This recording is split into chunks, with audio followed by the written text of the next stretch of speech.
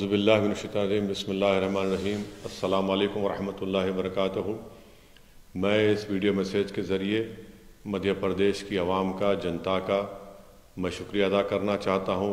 आप सबको सलाम वर्स करता हूँ। और मैं आप तमाम का शुक्रिया इसलिए अदा करना चाह रहा हूँ कि हालिया बल्दिया के इंतबात में जो मजलिस इतिहादमसलमिन के उम्मीदवारों को आपने अपनी मोहब्बत से, अपनी दुआओं से नवाजा।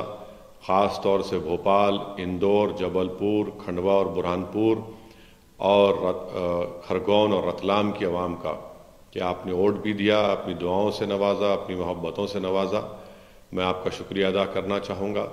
और मुझे मौका मिला कि मध्य प्रदेश में आने का, चाहे भोपाल हो, खंडवा हो, बुरहानपुर हो, जबलपुर हो, मैं इंदौर को नहीं आ सका।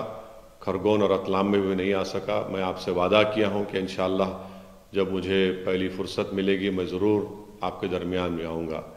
मैं आपका बेहद शुक्रिया अदा करता हूँ कि आपने वोट भी दिया, मजलिस के उम्मीदवारों को कामयाब भी किया, इसका मैं शुक्रिया अदा करता हूँ। एक मजलिस इतिहादमसलमिन की मध्य प्रदेश में सियासी सफ़र का आगाज़ हो चुका है।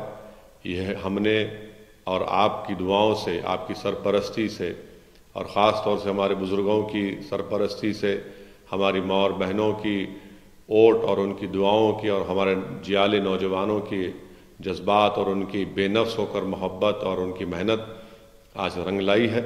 हमने एक छोटा सा कदम उठाया है और इन ताला मध्य प्रदेश में आने वाले दिनों में, महीनों में, सालों में मजलिस इतिहादमसलमिन और मज़बूत होगी और भी हम सियासी कामयाबी हासिल करेंगे। मैं आप तमाम का शुक्रिया अदा करता हूँ, ख़ास तौर से मजलिस इतिहादमसलमिन के उन तमाम सदरमत मदीन का, ज़िम्मेदारों का, मजलिस के मुबसरीन का, और जो मजलिस इतिहादमसलमिन के जो अब्ज़वर हैं, जनाब सैयद मिनाज साहब और हक़ नज़ीर साहब का भी आप तमाम का फिर से शुक्रिया अदा करता हूँ। बहुत बहुत शुक्रिया। वाखरुद्दावन अलहमदिल्ला